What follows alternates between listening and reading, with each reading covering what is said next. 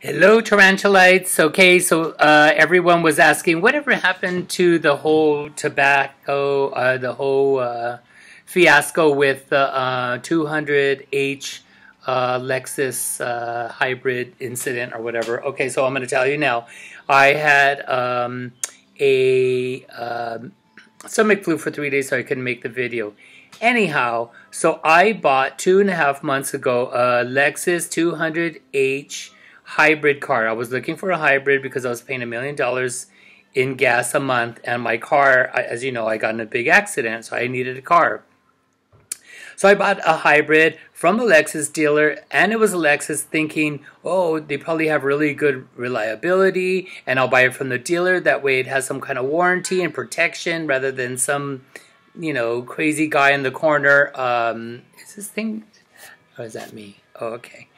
Um, rather than some guy on the street, you know, uh, selling used Lexuses should be certified and blah, blah, blah. Well, I'm here to tell you that just because you buy it from an established uh, dealer, first of all, you should be looking at the Yelp reviews, even though at Lexus they're all, we don't care about your Yelp reviews. Yeah, you want to know why? Because for every positive one, there's like 20 negative ones. So that's why they don't believe in them anyway.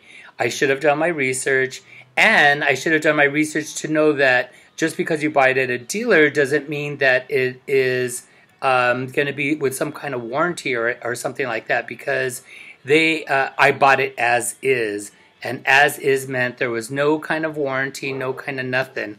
Who knew? You know, you go to these dealers and you think because it's a dealer and it's a used of their car, it's going to be overlooked. Well, they sold me this wild uh, Chinese young boy racer car. It was lowered. I would scrape on everything. They didn't tell me that. The wheels are from 2013. They didn't tell me that. You're not supposed they're 9 years old and you're not supposed to sell a car with older than 5-year-old tires. Well, this is 9 and I don't know why they didn't go they're not getting in trouble. Hopefully someone in the consumer hears this and cites them or something cuz that seems illegal to me. Anyway, like an idiot, I bought the car I needed a hybrid. It looked cool. I thought, oh, I, you know, it's going to be like a rich suburban Chinese uh, lady, you know, all smooth and everything you touch and everything goes and runs and it's fabulous, blah, blah, blah. Well, it turned into be one of the worst cars I've ever bought. It's a 200H Lexus hybrid car, 2014. No wonder they stopped making them because it's a piece of crap. Anyway, um, so after two and a half months, uh, we went to Palm Springs, and it, the the motor was making all kind of noise or whatever. So I'm like, oh, that don't sound good. Took it back for a diagnostic.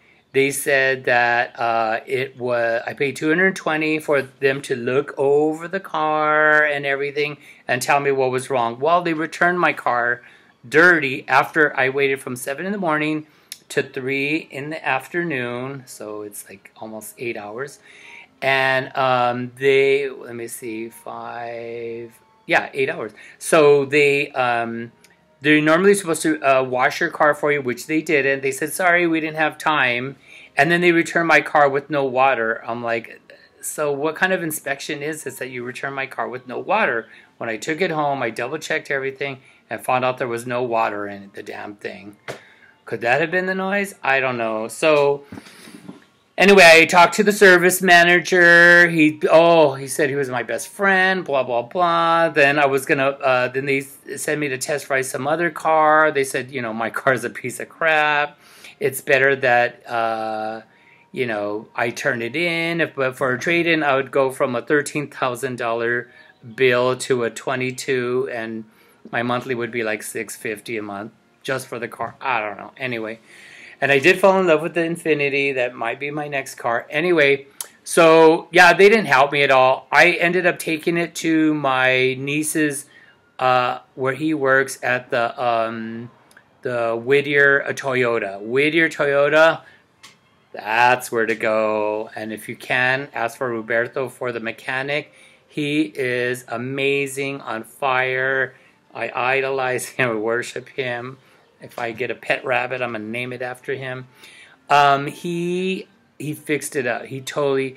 They had the old wheels on, right? And they put the wrong uh, screws, lug nuts, they call them. They put those. He hooked it up with the other one. He drove it around. He uh, connected it to a computer and said, "Oh, these these numbers are wrong." So he re-diagnosed everything, um, checked for what, checked everything. Oh, and raised it. He put new coils on. That. I that I paid for. But you know they gave me a really really really good deal like almost two times less than i would have paid at the lexus dealers. Plus he did all this other stuff and now the car runs like a dream.